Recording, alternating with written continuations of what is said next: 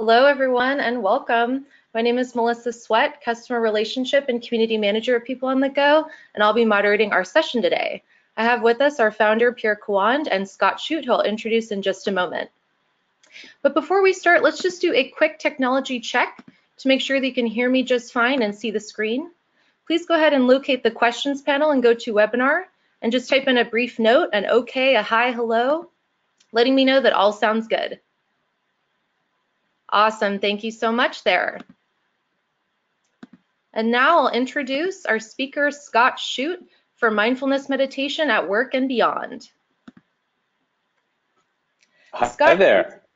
Oh, hi, Scott. I'm going to go ahead and read uh, your bio, and then I'll go ahead and okay, pass great. it on over to you guys. Thank you. Um, so Scott Shute is the head of mindfulness and compassion at LinkedIn.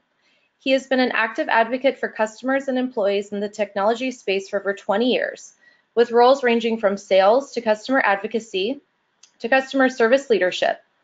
Previously, Scott was vice president of LinkedIn's customer operations organization.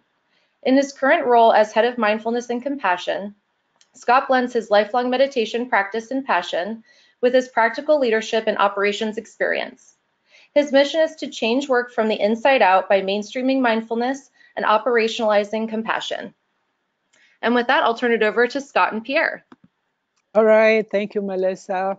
Thank you, Scott, for joining today. I, um, as as you know, I've I've heard your insights at many different conferences and occasions, and I thought it would be just awesome to uh, to make these available to our community. And today, uh, this is what we're doing. So, uh, getting us started. Um, how about we hear a little bit about your journey in getting here? Ah, sure. Well, we could spend the whole time on that piece. But uh, first of all, thank you for having me. It's my pleasure to be here with you and with all of you. Um, let's see. Well, I, will give you the, the short version. So I, I, think of myself as a bit of a dual agent. Uh, I, I, had uh, an experience when I was 13, which led me down the path of meditation and uh, other, I guess, exercises like that. And it's been a big part of my life ever since. I've been teaching since I was in college.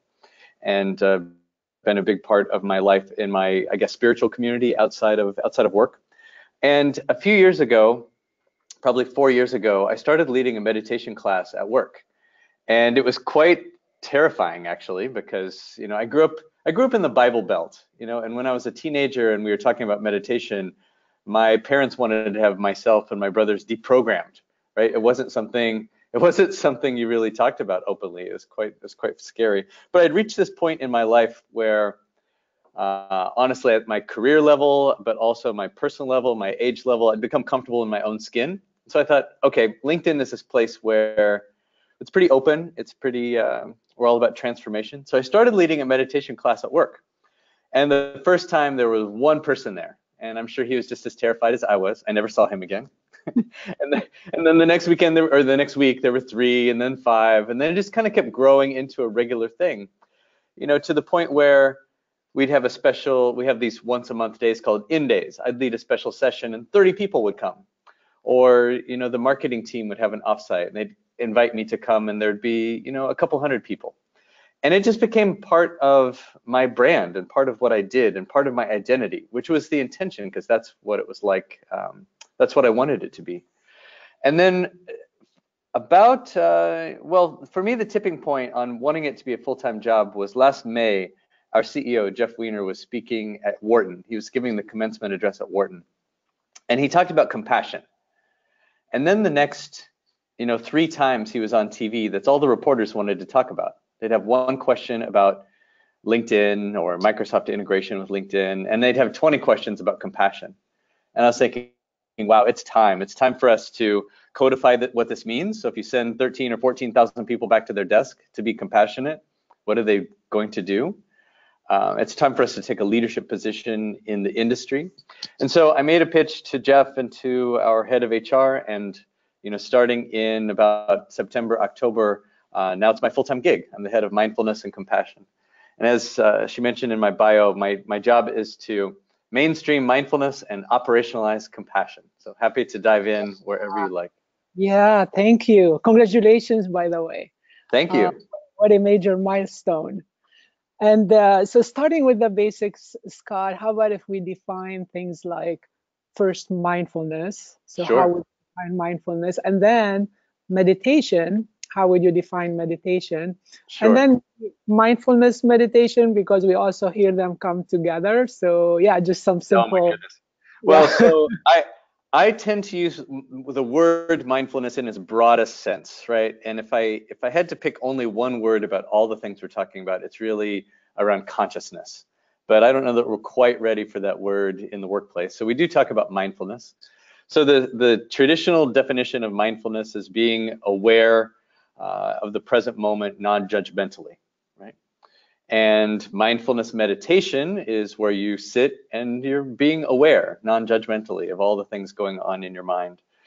Um, I tend to think about, and, and meditation is, uh, most of you know, a an exercise where it, it's kind of a mental exercise and it's typically used to drive clarity of mind and a calmness, uh, an emotional state. Mm-hmm. Um, and so those those are kind of the technical definitions. When I think of what mindfulness is, when I when I am talking about um, mainstreaming mindfulness, I'm specifically talking about more more like meditation and the mental practices that are like that. Mm-hmm. So just just like physical exercise has come of age, has become you know mainstream over the last 50 or 60 years. You know our our grandparents, our great grandparents did not exercise, right? They worked hard. Um, in the same way, these mental exercises uh, are becoming mainstreamed, you know, and we're, we're in the middle of that journey. So just like physical exercises, now pretty much everyone knows and every company knows the benefits of physical exercise, right? Decreases anxiety, relieves stress, improves the quality of work, decreases um, medical costs, all of those things. The same things are true of mental exercises like meditation, and we're now in the process of, you know, just making those available to our employees. Uh, and I talk about having something available for every level of someone's journey. Uh, and so that's what I mean by mainstreaming mindfulness. Mm-hmm. Excellent. So, uh, in terms of making things available, do you want to give us a little flavor? Yeah, sure. What do, you, what do you make available at LinkedIn? What do people sure. ask you? How does it work? Yeah. yeah.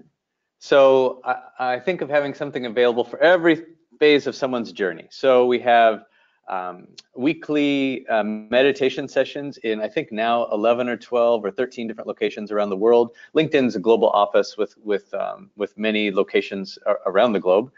Uh, so weekly meditation sessions. In some places we have twice a day every day, which is pretty amazing. Uh, and these are fairly well attended. Uh, we have things like once a year we do a 30-day challenge, right? And the, uh, this last year we had 1,600 people attend the challenge. And the challenge was uh, meditate 20 times within 30 days and be entered into a raffle for prizes. So we gamified it a little bit too, which is fun. We have uh, online, we have a thing called Mindful Moments. It's a two or three hours self-paced learning. We have uh, down at the bottom of the funnel for someone who really wants to go deeper, we're doing uh, retreats, little mini retreats. So it's a four hour retreat, uh, either on a Friday or a Saturday. Uh, you know, and we'll get, we encourage people, if it's on a weekend, if we encourage people to bring their spouse or bring a friend along and have it be more of a community event. And we'll get 60, 70, 100 people coming to these. We are, one of the things we're doing right now is we're partnering with Wisdom Labs to build a, a community program. Uh, it's a weekly drop-in session for half an hour, and you get a uh, a video of someone explaining a certain benefit of mindfulness or going deep into a specific topic. There would be a practice, so a six to 10 minute practice, followed by discussion. So really mm-hmm. trying to build that community.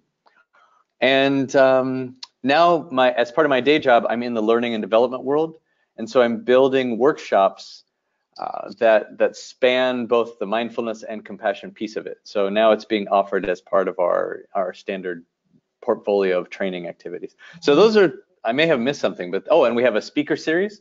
Once a month, I bring in someone from the outside, uh, not just about mindfulness, but more in consciousness or in the overall kind of wisdom topics. And we're, you know, we we do something like this where we also include a practice and give some, you know, well, talking is good, acting is better. So those are some of the things we have going on. I'm I'm quite proud of the, the offerings we have. Great, that sounds quite substantial. And uh, you know, you brought up the topic of practice. How about uh, how about doing a little practice maybe just like a minute a minute or so because one one of the challenges the challenge we had today for the people participating in the challenge is to do one or two minutes of breathing and adding yeah. that workday but uh, we would love to to guide everyone maybe sure. of your favorite uh, short practice what would that be sure um let's see i have lots of lots of favorites Let's just do a simple breathing one because this one doesn't require it doesn't require any past experience. It doesn't even require you to close your eyes. So I'll lead you through the instructions first and then we'll do four cycles of breath. So we're gonna do an inhale through the nose for four counts. So one, two, three, four. We're gonna hold it inside of our bodies for seven counts. Two, three, four, five, six, seven. And we're gonna exhale out of our mouth for eight counts. Two, three, four, five, six, seven, eight, like that. So it's inhale through the nose for four, hold for seven, exhale for eight. Now this whole time, uh, part of the instruction is to you know, place the tip of the tongue behind the two front teeth and just leave it there. So you're both breathing in past it and breathing out past it. So uh, let's do it, and we'll do four cycles. Okay. And that's that's kind of the standard practice of this is four cycles. It takes less than two minutes. So we'll start with by completely exhaling, everyone. And now inhale through your nose, two, three, four. Hold, two, three, four, five, six, seven. Exhale through the mouth, three, four, five, six, seven, eight. Inhale through the nose, two, three, four. Hold, two, three, four, five, six, seven. Exhale through the mouth, three, four, five, six, seven, eight. In through the nose, two, three, four. Hold, two, three, four, five, six, seven. Exhale through the mouth, three, four, five, six, seven, eight. Last one. Inhale through the nose, two, three, four. Hold, two, three, four, five, six, seven. Out through the mouth. Three, four, five, six, seven, eight. And then you can just resume breathing normally. Thank you. Thank you. So this uh, one, when done, you know, twice a day, perhaps beginning and end of your day, or just anytime twice a day, uh, it's a, a, a, medical doctor is a huge proponent of this one and has seen some pretty spectacular things in honestly curing or alleviating pain in ways that uh, he found that standard medicine did not. So uh, mm-hmm. give it a shot. Yeah, yeah. Thank you. Thank you. So um, I, I would like to get to the business professional benefits for meditating. But first, what are the maybe highlighting a couple of the personal benefits and then getting into the business professional benefits as an individual and then as a company? Sure, maybe. sure. Um, so talk about it in two ways. At the at the individual level, you know, the the things that we have seen, the things that there have been, I think there's over 6,000 published papers now, peer-reviewed papers. Uh, so the so the benefits are are now kind of irrefutable around things like reducing stress, Hmm. uh, the physical symptoms of stress, alleviating anxiety, improving your overall awareness, which in, leads to ability to focus, the ability to have uh, better relationships, the ability to sleep better, the ability to have uh, a longer attention span. So those are the things that are already there. And you might imagine how those could be, you know, improvements that are not only better in your personal life, but would lead to you know, in the workplace lead to things like, okay, if you have improved focus, you'd have higher levels of productivity. If you have improved levels of awareness, you're going to have better communication and better relationships with others. You're going to be better with customers. You're going to be an improved version of yourself.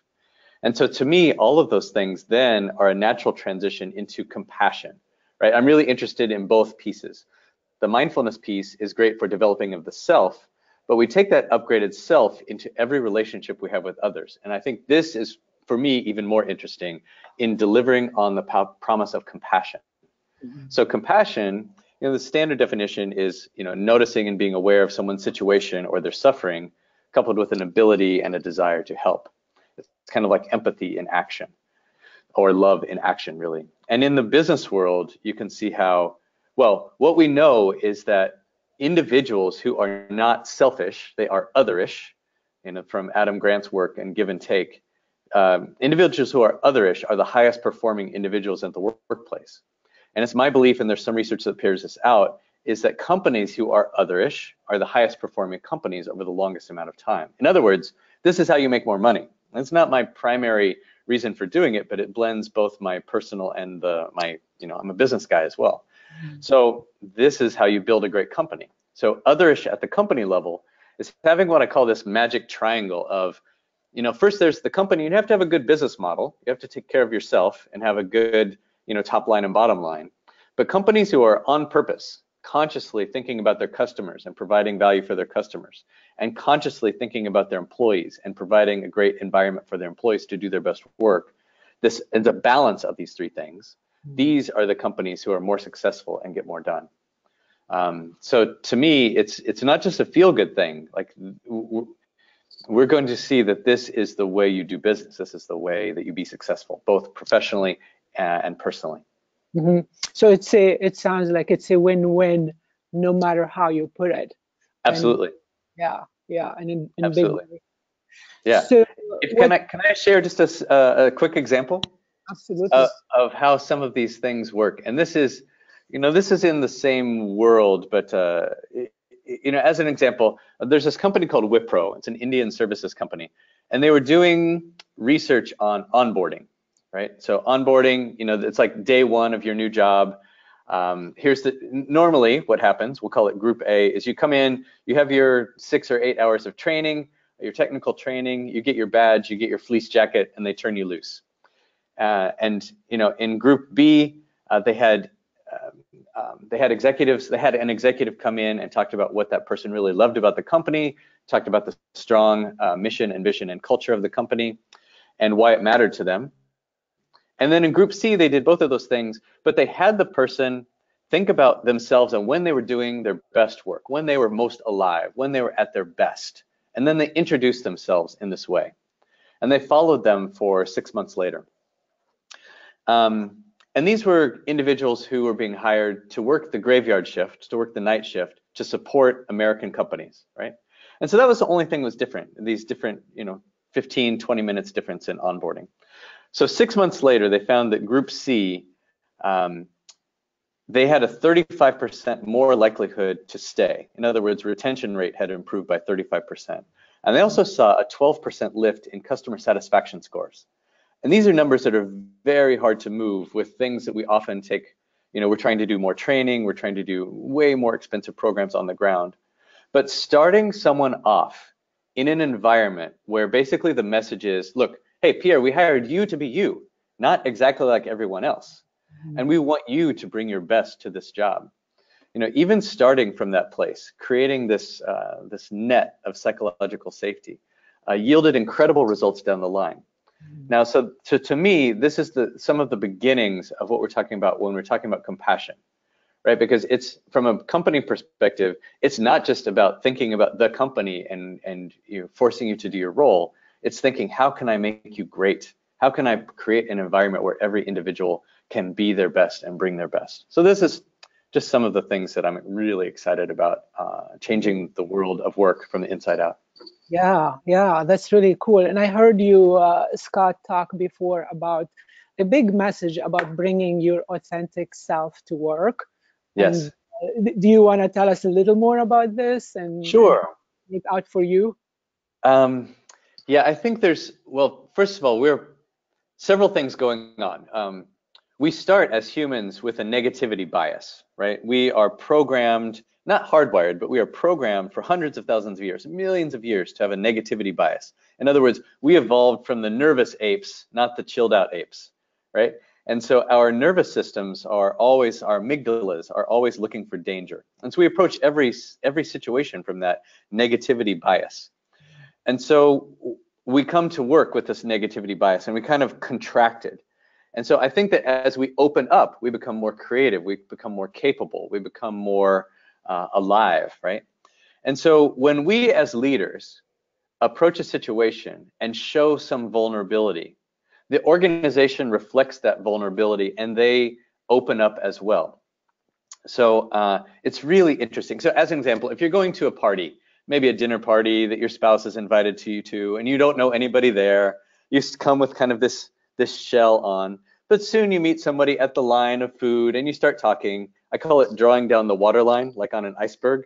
You start to see more and more of each other's iceberg and you exchange your names, you exchange your pleasantries, where you're from, and all of a sudden you discover some shared experiences. And from these shared experiences becomes a relationship, right? Well, so the same thing is happening all the time at work. If we just come into these meetings, you know, and it's all just about work, then people retain this shell around them and they're contracted. But the more we as leaders share of our own selves, of our own vulnerabilities, our own failures, the more other people are allowed to kind of let their hair down as well. Google did a study uh, a number of years ago on what makes the most successful teams, uh, Project Aristotle. And the number one factor they found was not intellectual horsepower or diversity or where they'd gone to school or anything like that. The number one factor was psychological safety. Now, for a leader, this ability to show that you're vulnerable, you're authentic, you're all of that, helps create that psychological safety. In fact, super interesting I, how we're wired this way. There's this another study where um, people were filling out a form online with a chatbot, right? The chatbot was asking them questions and the people would respond. And you know, there's lots of questions about the person, but one of the questions was, tell me a time when you failed you know, and we don't usually, we live in an Instagram, Facebook, LinkedIn world where we only share the best of ourselves. And so most people either skipped this question or they answered very, you know, a, a very, in a short way. In group B, in the, that was the control group. In group B, along the way, the chatbot, she's talking, she, I'm using air quotes, she's saying, hey, my name's Karen, I'm a chatbot. I've been programmed a certain way. But sometimes my programming breaks down and I don't react in the way that you know I would like to or the people who built me would like to. And that's too bad because I really like to give good results. Next question. Tell me about a time when you failed. now this time people answer more honestly. They're they're giving long responses and they're sharing all these vulnerabilities. But they know it's a chatbot. We are so wired to reflect vulnerability that we'll be vulnerable with a chatbot. And so you might imagine the power that this has in the work environment as a leader or as an individual. If we ourselves can show up in our full authentic self, then it allows those around us to show up in their full authentic self. And the reason this is important is because we move from this contraction to an openness. And it's in this openness where we can be our full selves, we can be creative. This is where we drive the best results. So again, this is not just a feel good thing. This is how we are we're just better as human beings. We're better as workers. We're better with our customers, with our everybody. Yeah, yeah. Wow. I feel like we need to take a pause, Scott, just to absorb all of this. but I, I seriously think I don't I don't want to jump into a question right away because there was so so much in there. Yeah, thank you. Thank you. Yeah. Okay. Yeah, my pleasure. So if I if I go back to the questions, I want to go back to a question that Melissa kind of got into earlier, sure. which um, so so we know meditation is great. People who do it once in a while, they say, "Oh yeah, when I do it, I really feel good." And uh, still, a lot of people report to us that they find it very difficult to stick to it and to do it on a regular basis are there any yeah sure. So yeah suggestions you might have to help help us all sure. to do it? Yeah would love well, to let's talk that. let's talk about the construct for a little bit. So in you know meditation as we talk about it at work is definitely secular right? And and the research that we've done is is definitely secular. But it started as a spiritual tradition and even in uh, you know often associated with the east but every almost every spiritual path or religion has some sort of breathing or prayer or something to go along with it. So in religion, you have this construct which is very powerful. You have an, an away from motivation and a towards motivation. What do I mean? Away, I don't want to go to hell. I do want to go to heaven. You know, I don't want to get reincarnated a thousand more times. I do want to have nirvana. I don't want to have suffering. I do want to have, you know, enlightenment. So in a in a spiritual path, you have a construct that makes it very powerful, and you have a community that's built around that construct. So that I go to church, or I go to temple, or I go with a community to meditate. It becomes part of the culture. So that's that's how over the last you know several thousand years people have stuck to it. Is because there's this construct that makes it whole. Now in the secular environment, we don't quite have that um, away from and towards that are as powerful right? We're not talking about heaven and hell or reincarnation and suffering uh, in the in the secular way. And so when I talk with people who have come to my meditation class, I always say, look, it starts with intention. Because if you don't have a clear intention, there's no way it's going to stick. It's just like physical exercise. So Pierre, if you invited me to go running, you know, tomorrow morning, um, I'd go because you know it sounds good. We're friends. Let's go. Let's go for a run. Um, but the next day, I'm going to wake up at 5:30 in the morning on my own and my legs are going to be sore and it's going to be dark outside and it's going to feel like work. I'm like, wait, my friend's not here, so why should I run? But if I have a clear goal, like, you know, maybe my wife and I want to complete a 10K, uh, a 10K race that's two or three months from now. Okay, well, that gives me a clear goal to start with. And that gives me some motivation, you know, and along the way, I can see the signposts of my improvement. I can see that uh, my running is getting easier, or maybe I start to see the benefits. Maybe I'm starting to lose a little weight. Okay, let's take the same analogy, the same metaphor for meditation. If I don't have a clear idea of why I'm doing it, maybe I'll do it once with a friend, or I'll go to a class, but you know, uh, maybe the next day I have stuff to do, and it it feels like a selfish pursuit. So why should I do it? And so for me, if I go back to my own motivation, right? I'll, I'll just speak for myself. When I meditate, when I do my own, I'll call them spiritual practices, when I do them, I'm a much better version of myself. You know, I have less, so look, my, my mental model is, okay, I'm Scott, I have a physical body, I have mind, which is often busy with future or past, I have emotions like anger or frustration. And those three things, mind, body, emotions, are terrible drivers of my life, right? But I think that when we when we do this practice, we kind of calm those things down, and there's we're we're accessing a different part of ourselves. We're accessing a part that is more capable, that is um, a bit more infinite. And when we do that, uh, everything feels better, right? And so for me, look, we've all had days when we had a moment or a day when, regardless of what came at us, we felt like we could handle it. We had our resources fully available to us.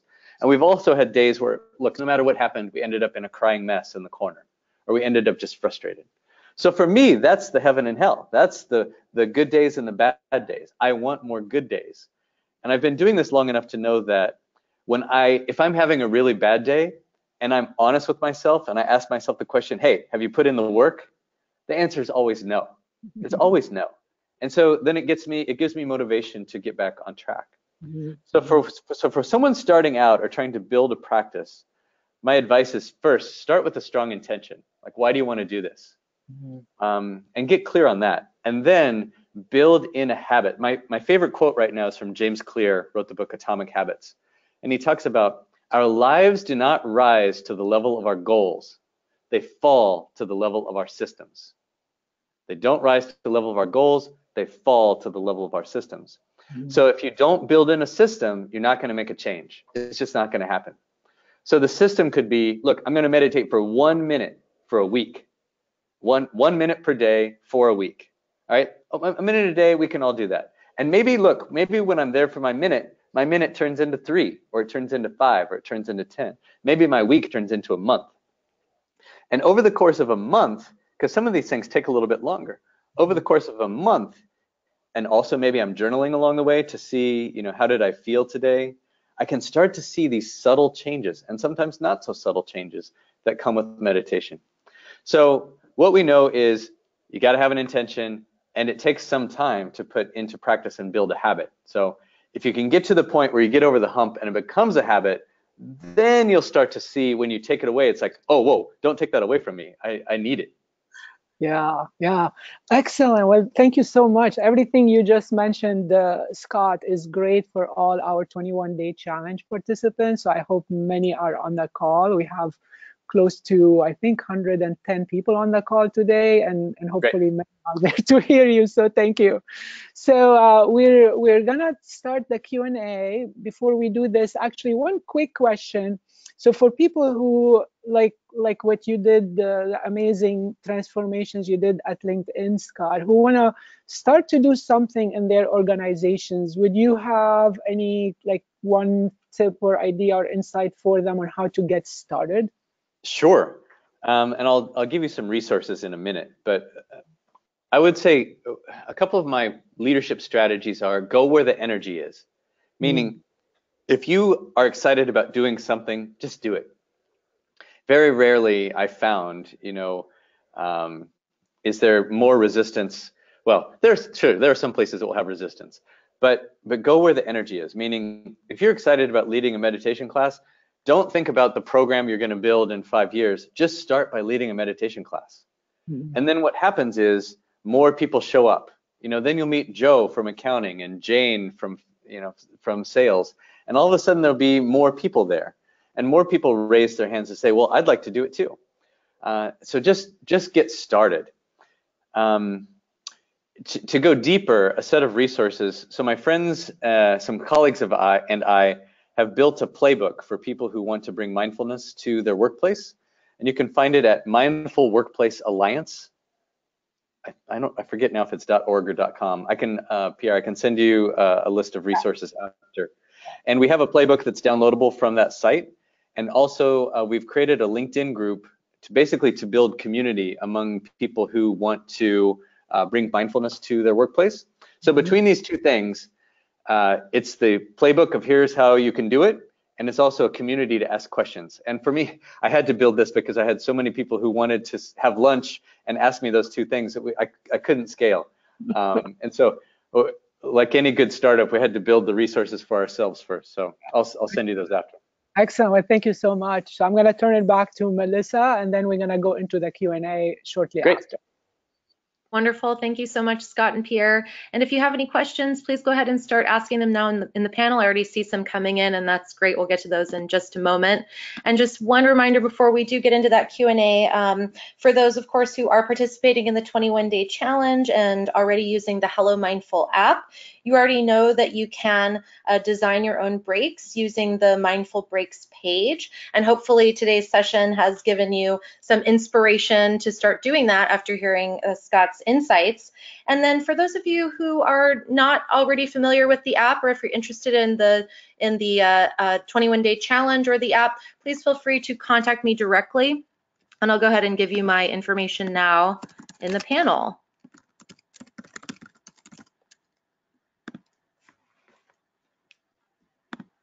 Uh, okay. Wonderful. And now we're all set for the Q&A. Yeah, thank you, Melissa. So I'm, I'm going to take a look here at uh, the question. There's one practical question from James Scott about the breathing that we did. Uh, what is the significance of breathing in through the nose and then breathing out through the mouth?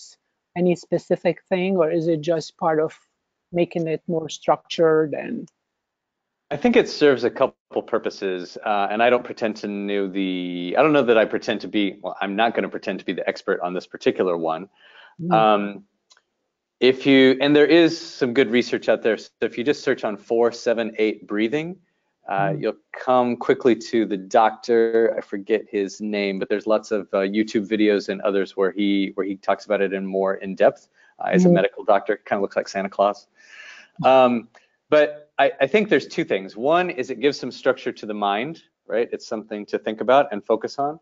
And two, I believe there's something that is in the circular nature of our breath, uh, but that's the part that I, I don't pretend to know, be the expert on. Okay. okay, and then Laura is asking, how do you convince upper management to expand mindfulness and related programs? Yeah, I think uh, so. At LinkedIn, we started by doing. Um, you know, it, it wasn't. It was all volunteer led. We have a wellness group, uh, and and the volunteers just kind of tucked into those wellness efforts, and we were all just doing it as volunteers until. And then for me, I made the proposal to our leadership team. Um, and you know, I think we're in a special place in LinkedIn because our CEO Jeff is out talking about mindfulness. He's out talking about meditation and compassion. Uh, he's an investor in the in Headspace, you know, and things like that. So it was it was a little easier here. But if you're in a place that is a little more skeptical, I would say first just start. First see if there's energy for it, right? And if there's no if there's no energy for it, even within the employees, then you kind of have your answer. But if there's energy for it, you know, like the 30 day challenge didn't cost us anything to do. And 1,600 people of the, at the time, maybe nine or 10,000 people signed up to do it. That led me to believe that, that, wow, there's a there there. There's really, truly interest. And the more stuff we volunteered and the more it just became uh, apparent that this was needed, then it's a much easier sell. Uh, if your if your company is very data driven, there's lots of information out there, lots of research papers on the benefits if they're looking for ROI. And in the, I believe in the playbook, in the resources that we provided, uh, includes some of those, you know, links to research papers. Mm -hmm. Excellent. Yeah, and I'm seeing many questions about uh, some of these resources. So we're gonna once once I get the links from uh, Scott, we're going to send them to everybody. So you're going to be able to take a look at the playbook and other resources that, uh, that Scott mentioned. Uh, Melissa, any questions you see that you'd like to yeah. see? Um, Kristen offered here that the 478 breathing is Dr. Andrew Weil or, or W-E-I-L. Um, so yeah, just for the group here. And then Rachel had another question. Um, what qualifies someone to lead a meditation circle? Could anyone do it, or do you recommend undergoing certain training or having a certain amount of practice yourself? It's a great question, and I think it depends probably on uh, the level your program is at. And so it, it certainly helps, it certainly gives credibility when you have your own practice, right? So if someone is just starting out and they've only meditated three times and they're ready to lead a circle, I think you can still do that, but I think you should present it as doing that, right? You know, if, if nothing exists at your company and you get people together, it's th there's different levels, right? If you're if it's a company sponsored thing or if it's hey, Scott and Melissa are getting together in this conference room at three o'clock, there's a different level of uh, expectation. And so I think just being open and honest about if that's you, hey, I've only done this three times. I'm really excited. I'm going to do this anyway every Thursday at two o'clock. I'd love for you guys to join me just being open and honest about where you are is totally fine. Mm-hmm. I think once you get further along, and like in our case, if we have a if we have an a, a program that's a little further along, the expectation is if you come to a meditation class, the person knows what they're doing, right? So so I still like to give volunteers that leeway. Um, and I'll do I, I, do a little bit of vetting and the vetting I'm looking for is I don't want to make I want to make sure that whatever we do is secular.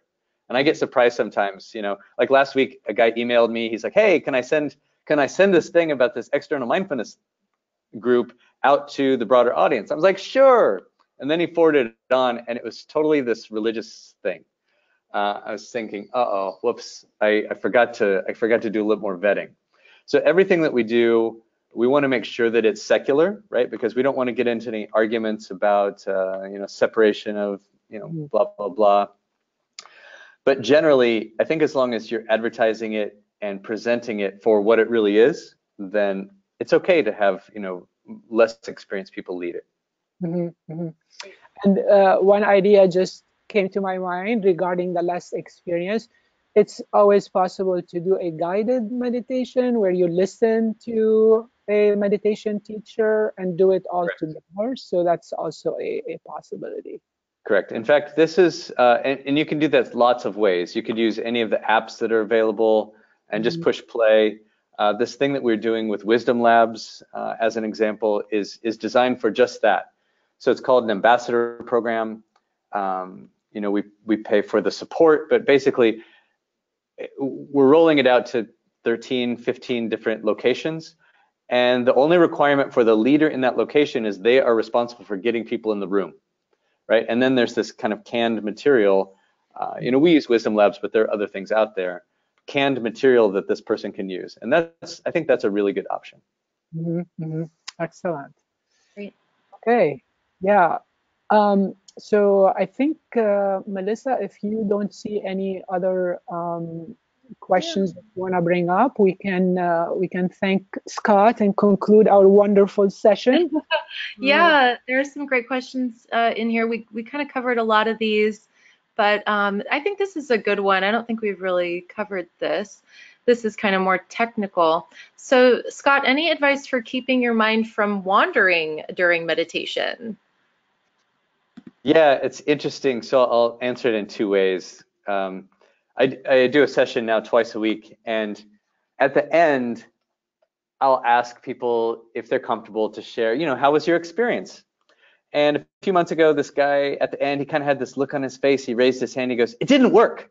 I'm like, "Oh my goodness! Like, what what happened? Tell me about your experience." He's like, "Well, I wasn't able to keep my mind completely blank." I said, "Oh, okay, okay." I said, "Well, how do you feel?" He goes, "Oh, I'm so relaxed. I am so, this is the most relaxed I've been in years. And the rest of us just started laughing. I'm like, dude, it worked. so, so there's this idea that meditation is about not having thoughts, and this that's just not true. Um, that's not what it's about. It's having freedom from your thoughts, right? So it's this idea. So sometimes we think, am I doing this right? Because I still have all these thoughts. And the idea is to not have thoughts it's to just have freedom from them. So if you're if you're having thoughts, it's I would recommend trying some of the techniques that are more guided or give the mind something to do. Just sitting in silence and hoping for quiet is not a great strategy for beginners. So using some of the apps that are have guided meditations, uh, things that are doing like a body scan where you're where you're actively engaging the mind um, to to be with the process for some people, for me, I like to use a mantra. And so singing the same word over and over kind of uh, gives the brain something to focus on and allows it to chill out a little bit. But then if you're if you're in the middle of meditation and you just find yourself thinking, just don't worry about it. Just keep going and refocus on the breath, refocus on if it's guided, refocus on whatever else is going on. Excellent. Well, thank you for this great treat, Scott. Uh, we, we uh, look forward to continuing to spread those great insights among our challenge participants and beyond. And uh, we wish you a great mindful rest of your day. Thanks very much. Thanks for having me. And uh, people feel feel free to follow me on LinkedIn and uh, have an excellent rest of your day. Excellent. Thank you. And thank you, everyone. Thank you, Melissa. Thank and you, everyone. Bye-bye. Bye. Bye.